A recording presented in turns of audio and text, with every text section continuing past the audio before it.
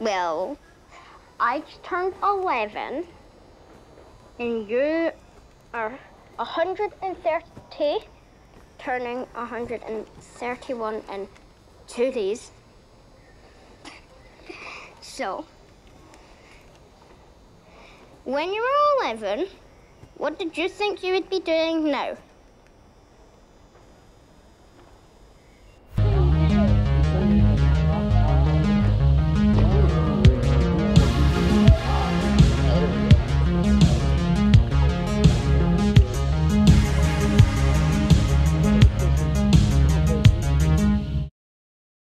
Welcome back to the final episode of Kino Summer Series for the season of 2024. I'm your host, the Kino Kowboy. I'm here with my co host, Scott Keith. Today, we're doing a film that, if I had seen at the right time when it came out, it would have been in my top of 2022, but I didn't see it until right after that, like January 2023 or such but it was a movie that's been growing on me for the last year and a half and i was like i really need to rewatch this. It'd be perfect for summer series because it's extremely summer and also emotionally devastating to me. And um, i am quite interested to hear your first time watch takes because this is kind of a this is a movie that skirts between portraying memories on screen and uh, as well as a lot of emotions that are complicated, but also quite simple. And footage and documented footage. Yeah. You know, we we have memories. We can imagine that anything that's in a cinematic kind of your uh, diegetic style. That's kind of the wrong way of saying it, but you know what I mean. Um, is her recollection, Frankie or Sophie, Frankie's the actress, her adult recollection of that um, I, I thought it was great. I, you know, the first 20 ish minutes, I was not bored, but I was just, I was, I was getting into it because it is a slow burn. I'm like, okay, okay, where's this going? This is picking up. And I watched it and I continued to get more engrossed. And then the ending tied it all together. And even I want to point out the ending credits music. There's excellent use of music in this film yeah. and something about the score of the credits it really hammered home the emotional weight of not not just the ending but the entire film.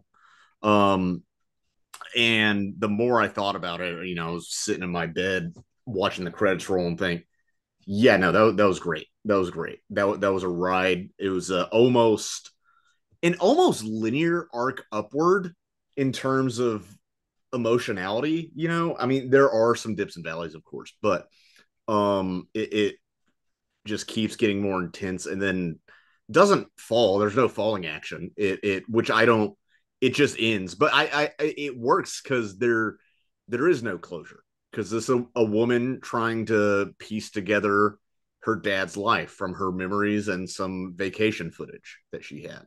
Yeah. um and that that's it. There's no closure as there is in life, but that's all we really need. And uh, I woke up this morning, and you know, this is one of the first things I started thinking about when I woke up.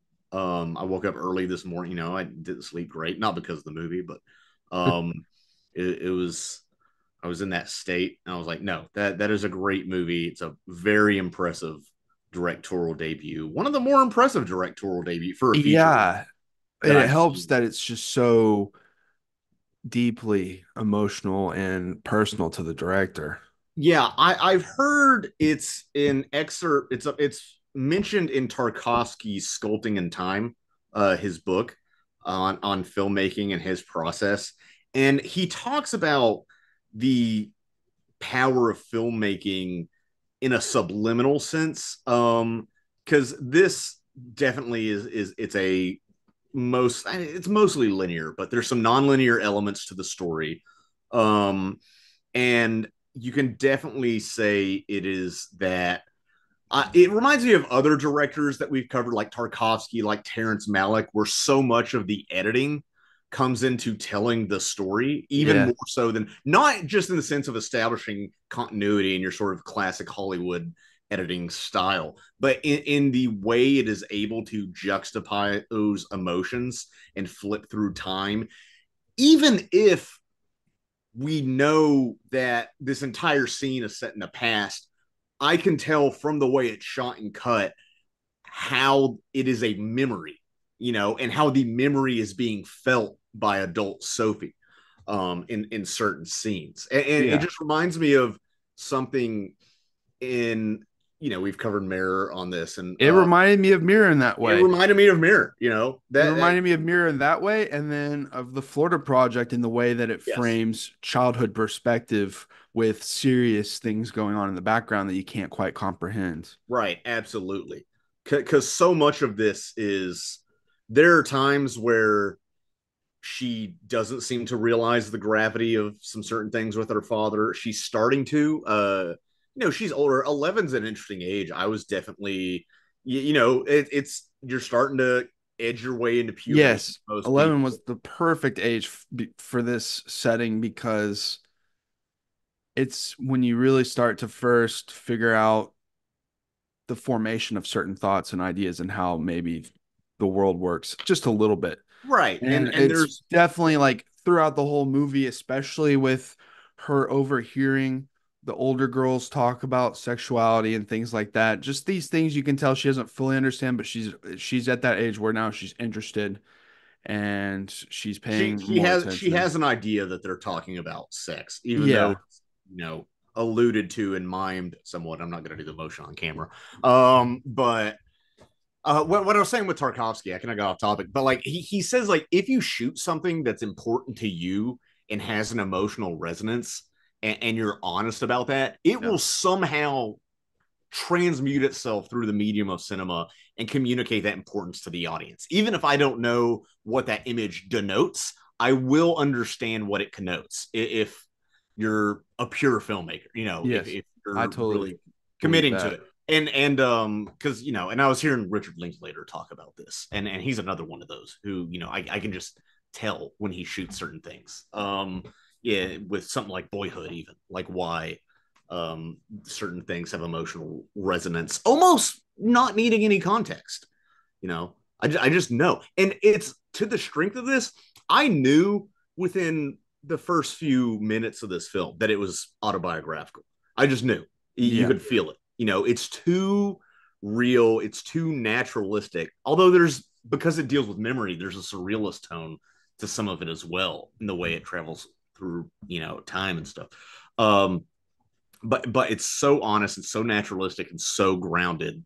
I'm like this this is not a story somebody made up because it's too simultaneously too simple and too nuanced. You know, it, it feels so goddamn real. I don't know how you could make something like this up. and such a great example of having to look back at your memories as a kid and realize the context later on and uh, fill in the holes yourself because now you have an adult's perspective and sometimes that can be pretty brutal and this replicates that i feel because we are the adults watching this back with her at the same time pretty much and uh, watching it the second time it's just that much more devastating because Yeah. What, what was the second time like? I want to hear that. I was crying within like three minutes of the movie really? because I had I feel the emotional connection to the main girl so much that like even if I I don't know anyone or have any family members that have killed themselves or anything, I just you feel the emotional weight so hard that like just the opening sequence of the memories being rewound via videotape or digital videotape, it just like immediately got me. And you're almost desperate on the second watch looking for more clues as to what might have unraveled for this guy to get to where he is, but it's the same thing on the second watch. It's it's there, there's no closure because no, it, it's really realistic in that way and sad in that way, but that's just how it is. No, it's um I and I I can relate to this. So I I don't have a parent. Um yeah, so the guy Callum, very Scottish name. We just call him dad. Uh no, Callum it's it's Scottish and beautiful. Um and I'm a Scot. Uh so uh, I, I am by ancestry, but I'm Yeah. a, a bourbon guy because I'm American. So uh Scotch can get anyway, I'm getting off topic. The um I, I didn't have to use subtitles as much as with Trainspotting. So my grasp of the English language has gotten better. There were some times where they were muttering and I was like, oh, God, I feel like such a stupid American right now. And I've, But no- I've noticed that's like one of the things that I have somehow I'm just able to not have a problem with that with like UK accents. I don't some, know. with Scottish in particular, it can be difficult for me. Um It almost got bad with Attack the Block. That was pretty Oh, I, I didn't have a lot of problem with Attack the Block. because it was just like you know street British, just Yeah, and that's very hardcore so UK uh, hearing that because in the movie, chav speak. Yeah. Chav speak. so it makes me feel better when I have trouble with somebody's Spanish accent. I'm like, well, this is my native language, and I have trouble understanding this accent. So like, if I meet like a Honduran and I'm not used to their accent in Spanish, I'm like, okay, that's fine. yeah. Um, it's like that doesn't mean I'm stupid. Um, no, I, I I'm guessing, yeah. Uh, Callum killed himself. Uh, that that's your theory. That seems to be the most logical thing. yeah, no, he's Does it does it outright say that? no, to me it's just that's what it was all pointing to. Yeah, because he has he has all those postcards or letters to Sophie, um, saying like "I love you" and stuff, and he's sobbing because there, there's a moment where he's sobbing right after she sings "Happy Birthday," which that is one of the biggest emotional roller coasters of the movie. That scene in particular, because it's very hard to like I've I've dealt with depression and even just being around other family members and younger family members like my niece or my little cousins and stuff, they get a sense of something if I'm depressed at a family function, but Yeah. like they, they're not able to fully put it together. And it, it's a terrible thing because I don't know how to explain it to a kid, especially it's it's not my kid, which I have the luxury of that. um, it's also a reason I'm hesitant to have kids is because I Me too. like that. Yeah. Also, the world's uh getting you know melting. Um, but uh, it, her going around to a bunch of strangers telling them to sing for "He's a Jolly Good Fellow," not "Happy Birthday," which uh, but, yeah, but you know, it's British such a beautiful. Well, you know, it's got to point out. Um, it's such a beautiful thing and such a kind thing and childlike, and the fact that everybody went along with it, which I do think is fairly realistic. If because this kid, Sophie Frankie Corio, who plays Sophie, is super cute. She's perfectly cast as like cute, intelligent, a little precocious. You know, Really uh, good, yeah. yeah, Whimsical. No, it, it's great. It's an all time. It's like a top five child performance in a movie to me. Um, and uh, it is realistic that if like a kid that cute was like, "Hey, hey, sing Happy Birthday for my dad," people will be like, "Yeah, okay," because you know they're hanging out in Turkey. It's all relaxed. Um, yeah, doing their Turkish. I really want that Turkish mud bath though. I yeah, really- me too. I'd go in Yeah. that. Oh yeah, I, I would totally exfoliate myself and stuff. Um, and it, but it immediately cuts to he's on these steps. It looks like a pyramid, and he's you know clearly. I know that personally of being depressed and kind of separating yourself from the family function or being at the fringes of a family function, um, or or a vacation. You know, uh, and not knowing how to reinsert yourself in that environment. And when people reach out to you, you don't know how to react. And we don't really see how he reacts, but we immediately cut to him sobbing in his room, which at first I thought it might have been later that night. But looking back at it, I think it was, you know, maybe years ahead when he was really in his darkest moment. And probably from his point of view, looking back at his own memory of that scene. Oh, I disagree there. You disagree? Yeah. You, do you think it was that? I think night? it's there. No, very much to me. This is the last time she ever saw her dad, and the way he puts the camera down and walks at the very end of the film into that dreamlike abyss. That was like the way she waves and it stops on him, her waving to him to the camera through that lens. To me, that is like the final time she saw him. That's the goodbye. And I you're think probably he, you're probably right. I think he could only hold on through the vacation. you, you don't you don't think it was even a couple months later. no, not at all. Actually, Yeah, you think it was like within that month? Yeah, No, I think Oh. it's right after, like right after this. yeah. Th- that was his goodbye. Um, because and and one of the interesting things in this movie, it, it's so he clearly had this child very young, and it threw off Yeah. his life. He even said, "I didn't even expect to make it to 30." Um, she was born, you know, probably out of wedlock. They were probably drunk at some party and hope, you know, like millions of people. Um, and that does affect it, it does make me think of my my own mom was born to a teen mom and this was you know back in the 60s when in arkansas when that was verboten. Um but I, that that affected you know their relationship um because i and maybe i'm projecting but there's almost callum has i don't want to use the word resentment um because that sounds too strong but maybe a similar emotion towards a child for stealing his own youth, Yeah, uh, which I think is very common. it's People- there.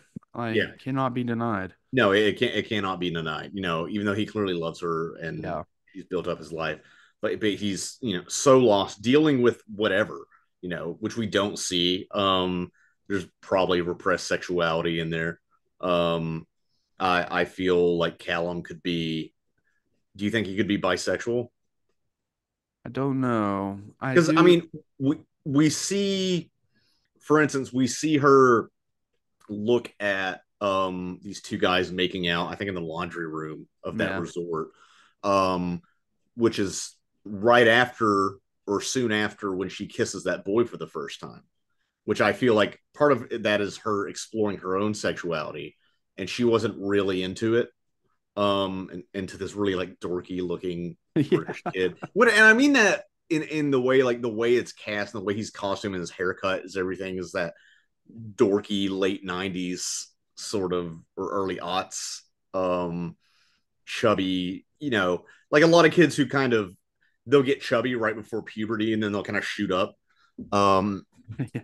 and, and she even has her eyes open because kids are banging on the windows, messing with them um, which actually happened uh, in my first kiss, but it was with like an old Mexican man at the Mexican restaurant, and I was 19 in my car. He was cool. That was really funny. I was Yeah, like, you kissed an old Mexican man. Yeah, I kissed an old Mexican man. No, no, he just That's banged. how it sounded. He just knocked on the window with me and my girlfriend, and he's like, "Hey, what's up? Uh, we're closed," but in a funny way. I was like, "That guy's." cool.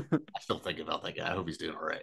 Um, but um, but it, it feels that thing like she's you know barely knows this kid, and this kid's you know when you're a kid you get crushes for the stupidest reasons. I still do, but you get you get crushes like oh this girl's kind of cute. We're on vacation. It's this cute and cool environment, and we played this motorcycle game together.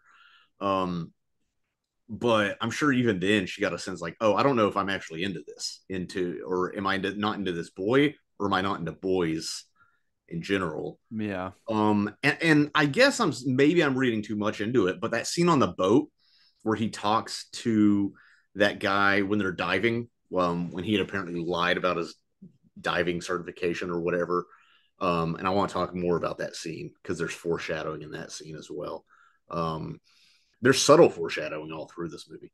Um, he he's talking to this younger guy about everything, and it feels like there's almost sexual tension. I might be reading too much into that, uh, because we do see people's bodies, but it, it's a lot in this movie, you know, and there's a lot of her looking at like older teen bodies, but not even in a in a sexual way. Um, it, it has to do with sexuality, but not sex, and sensuality, but not sex. Yes. Um, it just has to do with like burgeoning puberty, noticing your body's changing, looking at the teenagers, noticing how they're different, Yep. you know, um, which is, you know, I remember at, at this age, you were like com- comparing armpit hair in your head with like other people. And I'm sure with young girls, it's all about like breasts and, uh, if you, you know, Wondering when my leg hair was gonna start growing.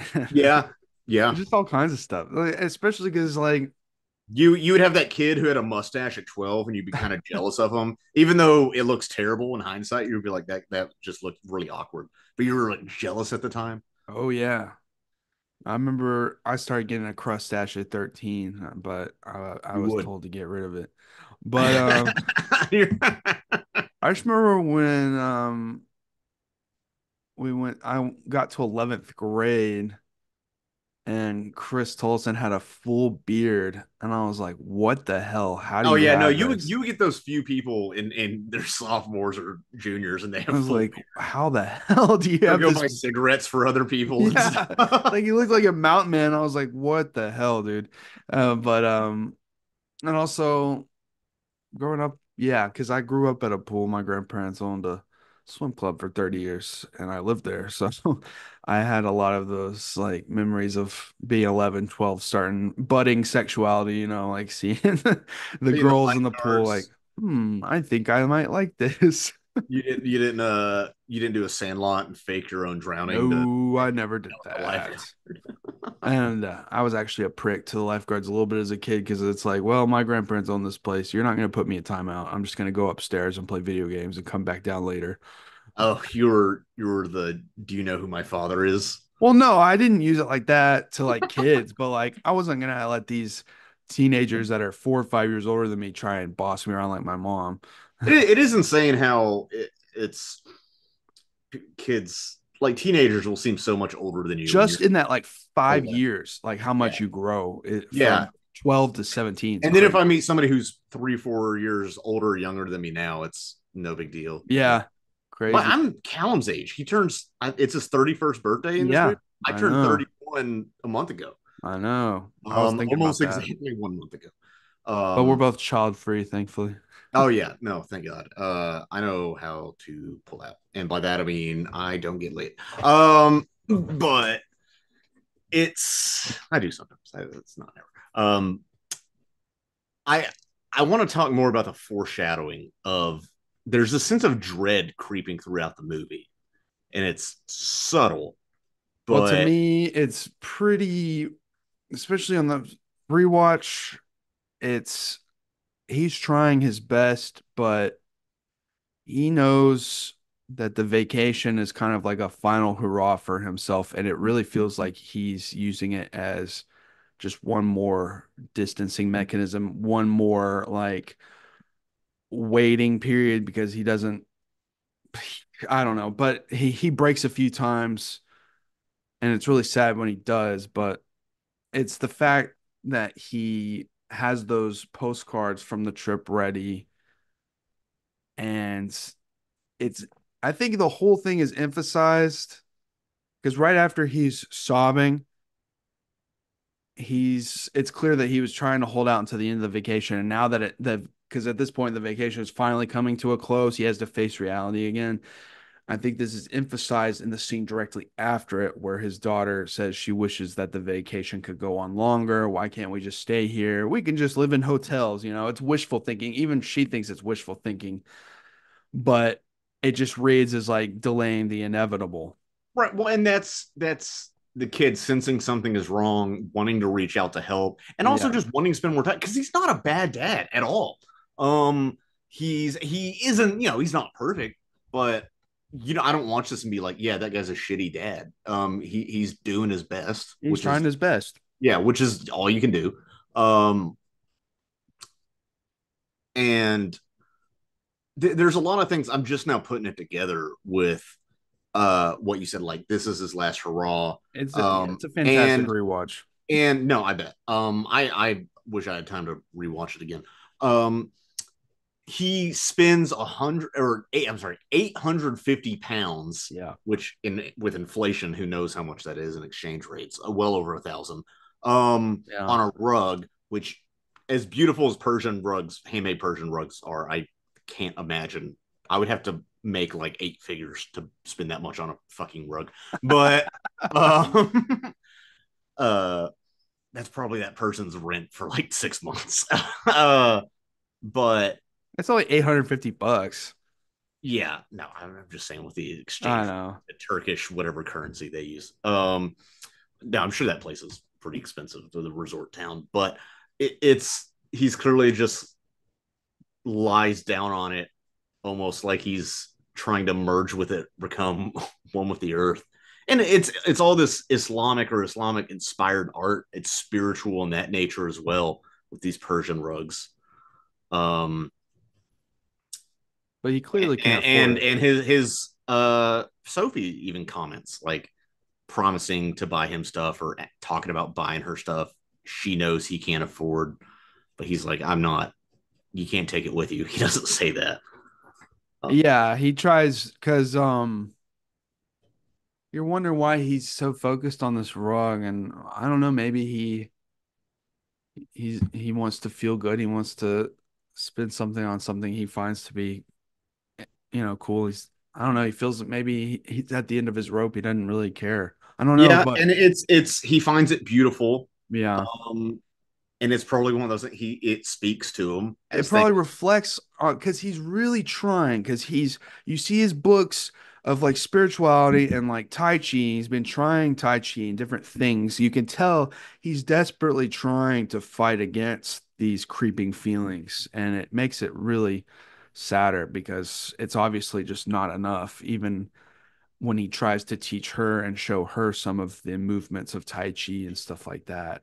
He wants a better life for himself but it's just too heavy hitting and that's what really gets me. Be, you know both of us have battled pretty heavy depression for our whole lives at least my whole life and so i get overwhelmed sometimes when i see such a accurate but tragic display of depression taking hold of somebody like that somebody that in the film you get a clear sense of their inner person on about like when he's dancing at the end on vacation that's like the clearest shot you get of like his inner self without being bogged down by anything. Just when he's when he's dancing to under pressure?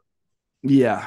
Which itself that's an interesting choice of song because it is this catchy radio tune but like a lot of pop songs if you listen to the lyrics it's it's about the pressure of modern life and modern society. Well also it's literally while Yeah. they're dancing together it's literally saying this is our last dance. So yes it's the final final time Um, and it's also interesting she picks of all things REM's "Losing My Religion," which I always thought was an interesting song. I'm not a huge REM fan, but that song is so.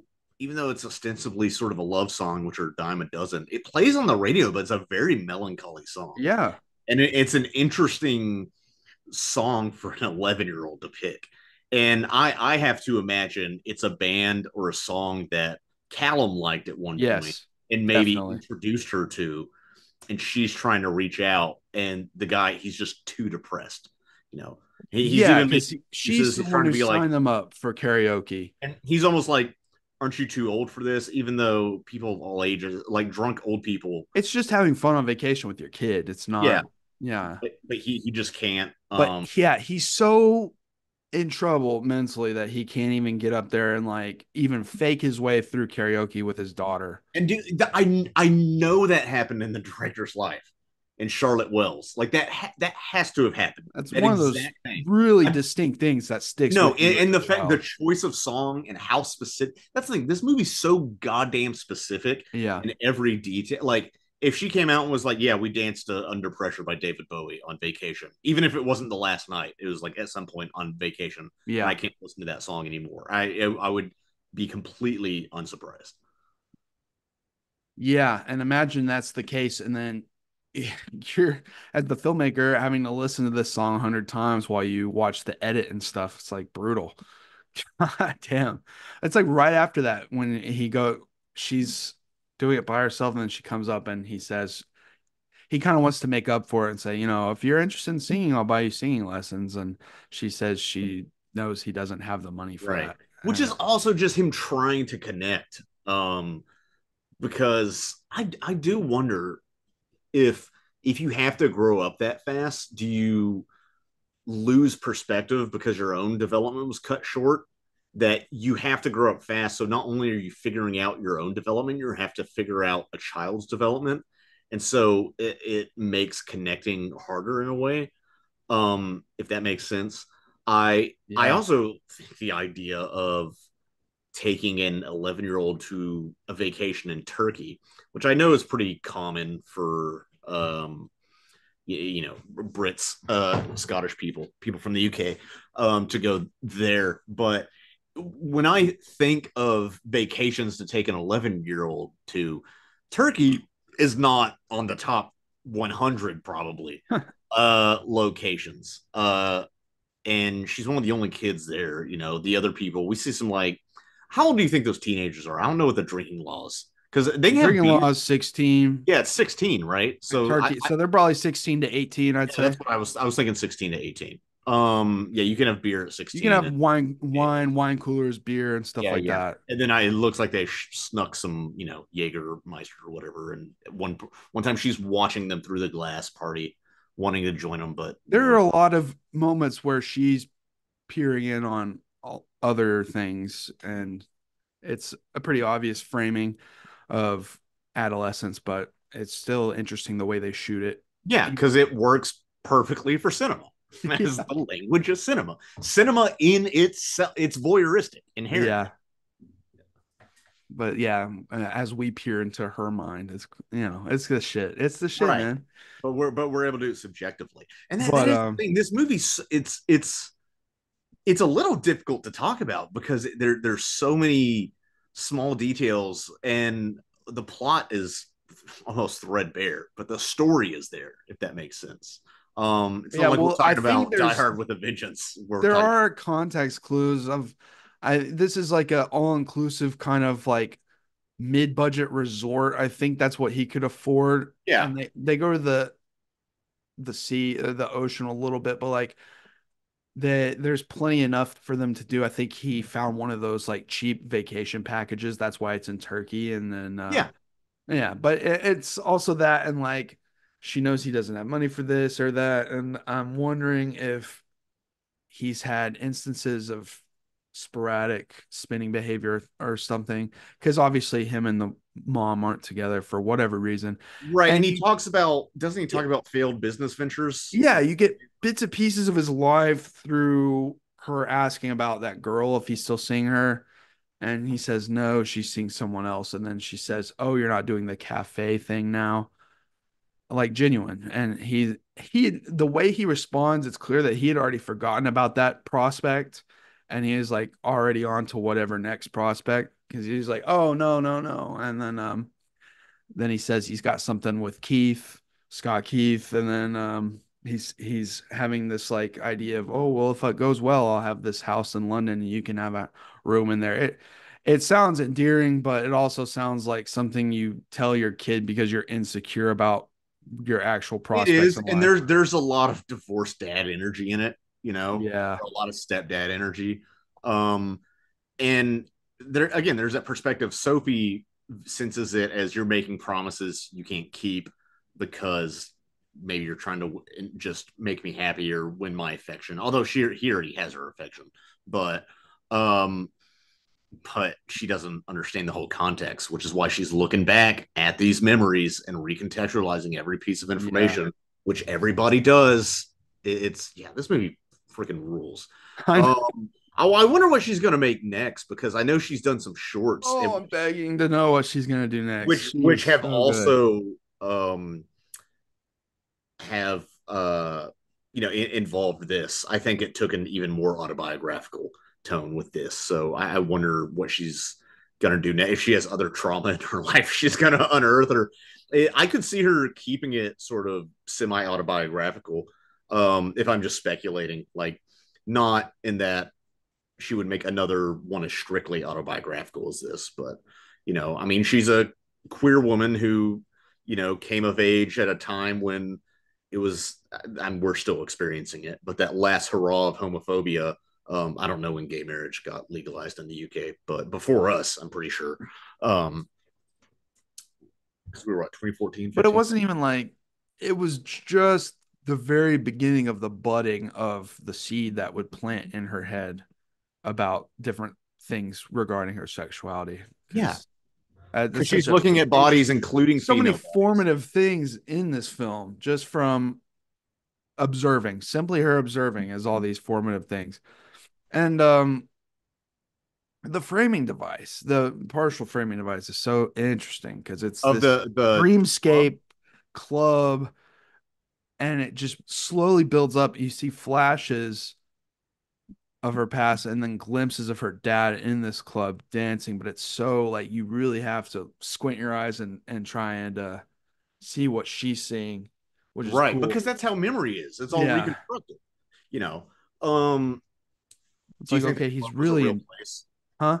think that club was a real place no, I just think it's uh some sort of mindscape thing. i i do too but i also think it could represent um calum when he was away from sophie i i could definitely see him as a guy because he he references doing drugs he's like you can tell me anything i've done it all um and he um you know that's probably how she was conceived. So i feel like he was a guy who clubbed a lot and probably still does to escape his depression not on the vacation. I know, There's a- yeah, no. there was a little bit where i thought like oh is he going away at night and doing that? And i don't think he is. No, um, no, he's just but he did come home butt naked which is another one of those things as a like if that happened to me as a kid i might be like oh haha that's weird but looking back you're like oh no there is a very slight tinge of awkwardness in that area. I don't know if she was trying to comment too hard on it, but it does have like the first scene in the hotel. He's mad that the she he paid for a room for with two beds. And yeah, it's annoying to have to share a bed, but there's nothing wrong with sleeping next to your child. no i would be irritated too to be I know, but it just it's interesting that it focuses there, I think. And he gets a tiny bed for himself because he and he sleeps on the tiny bed, gives her the big bed, which is a nice thing as a parent to do, but like I'd definitely be like, You're sleeping on that tiny bed. like but there is something just slightly there, and it's not I'm not suggesting anything. I'm just I just know is very complex emotionally and it's like slightly there what in what way just like weird feelings of like being one on one with your dad and he's your dad, but like, you know, you don't want to see your dad naked and you know, I don't know. yeah just- especially if you're a daughter and yeah, it's just a little bit different, I'm sure. And I don't know. And she doesn't like to hear him talk about women when she when he asks about the teacher if she's good Right. looking. which I, which I think is also that's and part of that's just a kid thing of like ooh grown ups ooh I mean first of all I don't want to think I still I'm not a child I still don't want to think about my parents' sexuality uh, ah, well, yeah. but uh yeah if you if you heard your dad was crushing on your teacher and you were 11 yeah that would rock your world you'd be like what uh, bro uh, what um unless you really Clearly, though, he does have problems with parenting just a bit because they're at first it's fine.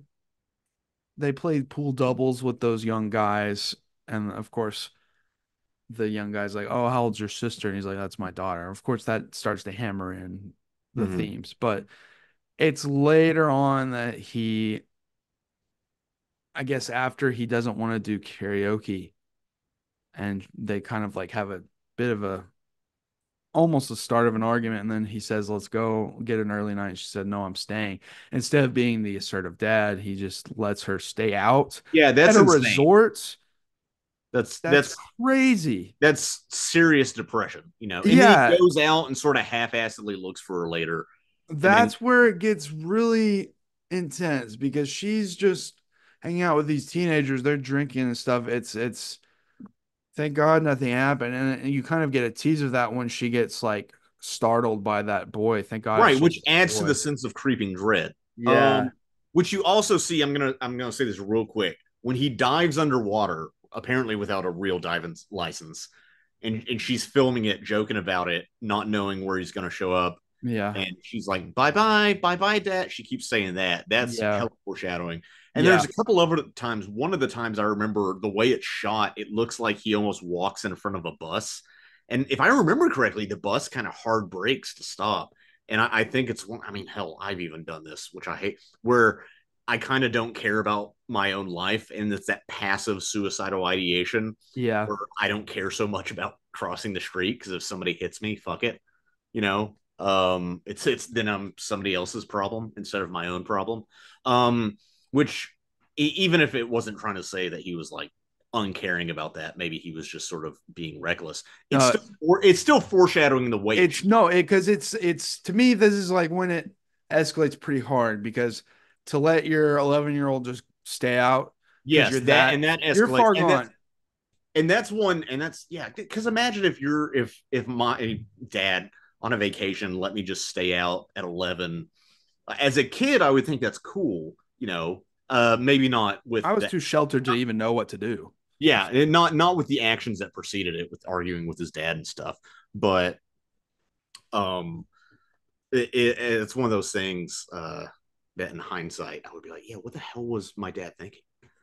But it's right after this because it hits like a brick um, right here for me because that's the scene right after this while she's out he just walks straight into the ocean. It's this long shot of him just walking straight to the ocean. And it hits like a brick because if you've ever had very heavy thoughts and have felt hopeless you know what it's like to have it feel it creeping towards you where it's about to consume you.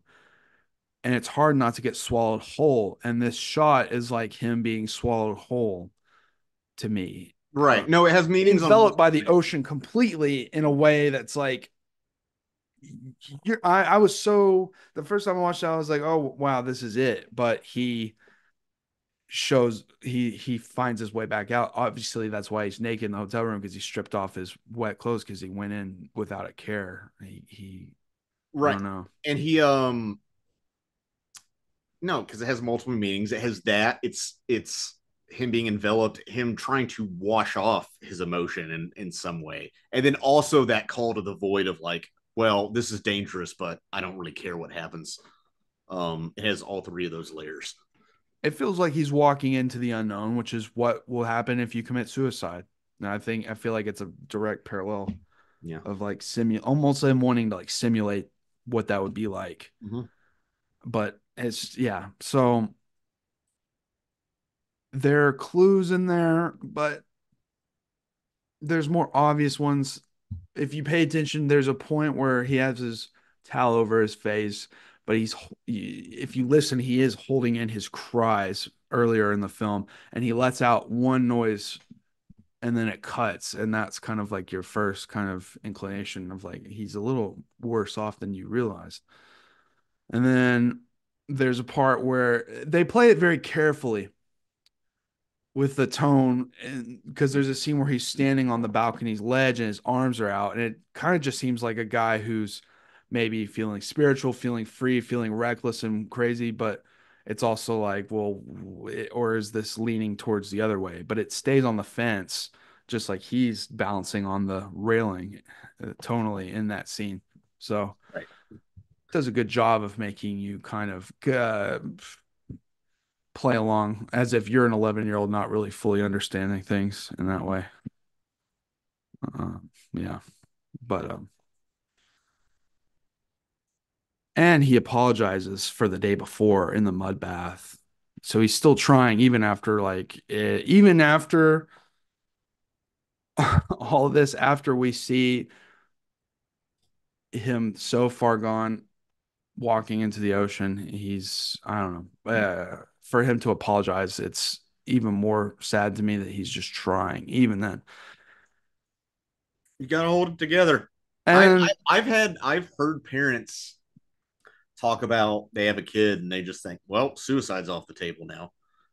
You know i've, I've heard multiple people- yeah and there was a less mature version of me 10 years ago that would have called him a coward but it's just because i was i don't know what for for being a father who committed suicide yeah Now there, there's a point where, like, you have to understand, we're programmed to survive at pretty much all costs. So something like you are inherently broken if you successfully commit suicide. Like Yeah. something is eh, not, and that's not a judgment call of saying broken. I'm just saying at, at some fundamental spiritual, psychological, biological level, something has to be irreparably or at least seemingly irreparably broken for that uh, because i've done things i haven't i haven't i have stood on the edge of things and wondered like what if i jump off right now? That sort of call the void. That that's just natural i think to everybody.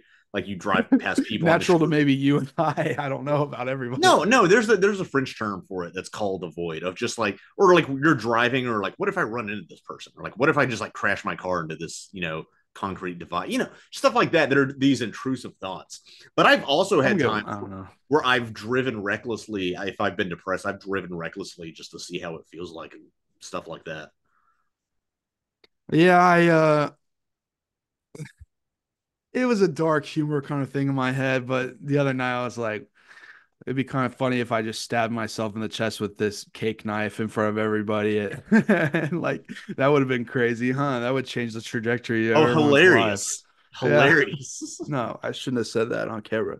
But But you can um edit it. You edit this. anyway, Speaking of, which, how does this make you think of your father? We can edit no, this. yeah, that is the thing. It's like I'm oh, man, I didn't I you know, I Do you want to talk about this? No, what I'm saying is that is the one of the connections I did have is like, no, my dad didn't commit suicide, but I do have a complicated, very complicated past with my dad that I am still at 30 years old, still piecing together old memories, recontextualizing things, even having to dust off memories that I had pressed down for a long time. So you think after a certain time, like you would have decompressed everything, gotten everything, figured everything out. But even now, it's just like No, it never happens. And the the idea of trying to understand your parents, it, it's I don't even fully understand myself. I understand my- myself better than I understand pretty much anybody else who's not me. But can a man truly ever know himself? And if they can't know themselves, how how can they know anyone else? You know. I mean, first of all, we have to define self, which is a whole nother philosophical conversation I'm not getting Yeah. into. Um, you know, not, I'm I'm sober. I'm not ready for that conversation. you know, if I yeah, give me some mess. yeah, maybe if he would have just watched Evangelion, he would have been all right.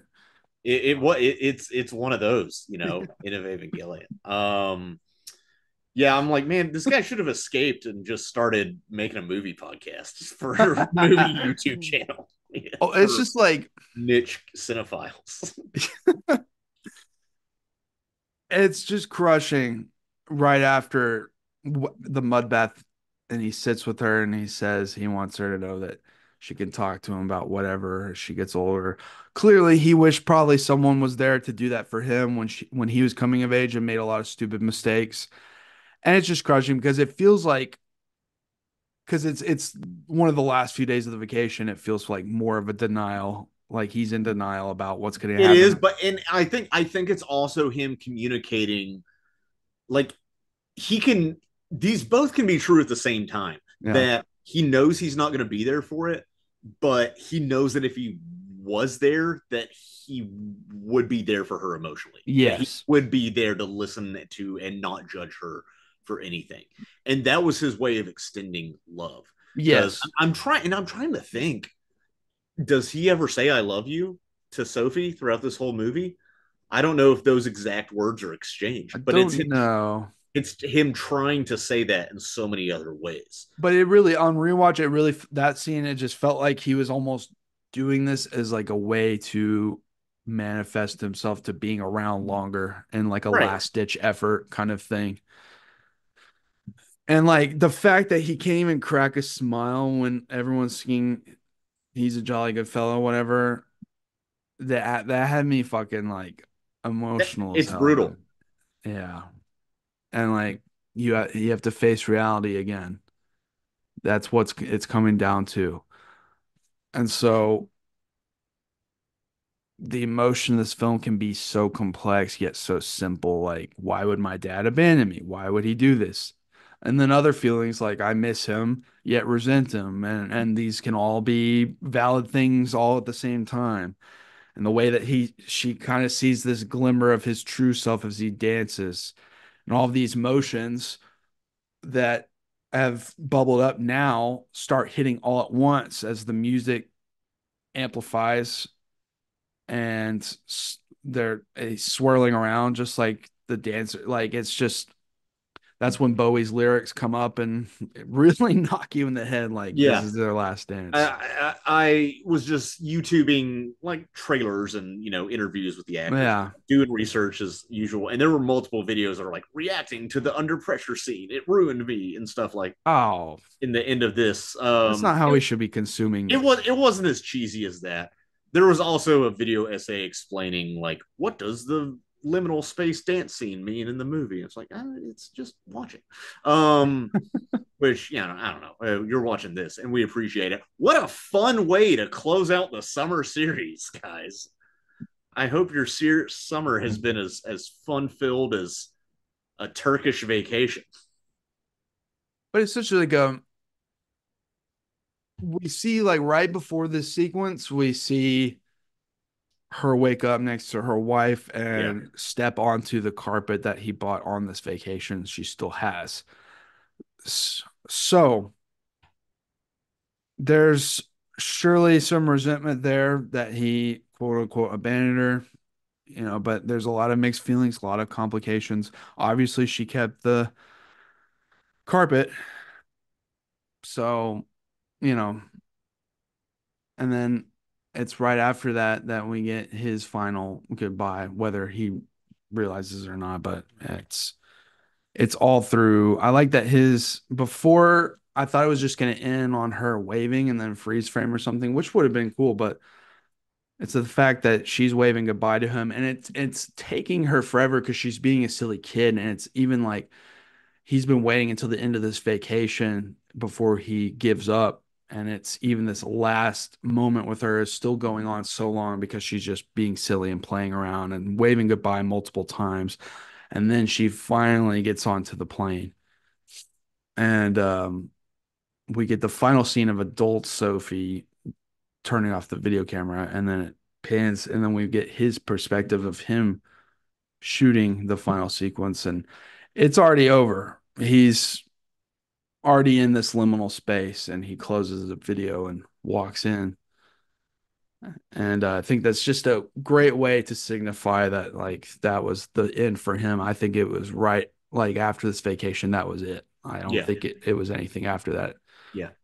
Personally. And i was surprised certain people that i know that usually can understand film pretty well when i brought up the suicidal stuff in this movie, they thought it could have been way more clear, and I thought that would not be as good if it. Was No, was. because the whole point it's it's it's that lack of closure. I know one person that was like, "What are you talking about? Suicide?" I didn't get the movie. I'm like, "What?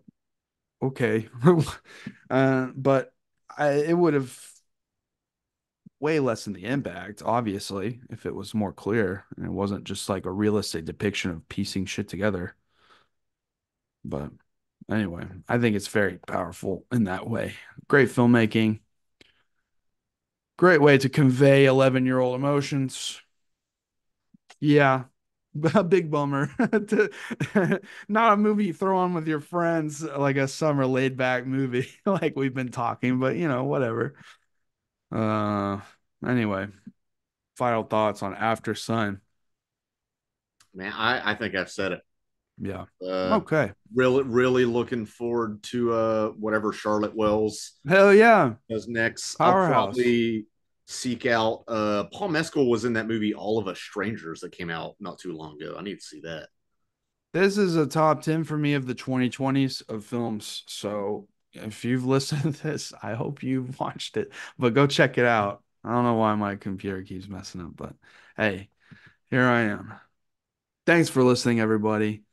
We've got plenty of other summer series episodes. If you missed it, if you're trying to catch up, you know, summer's still going. Still got a few more weeks, at least in the States.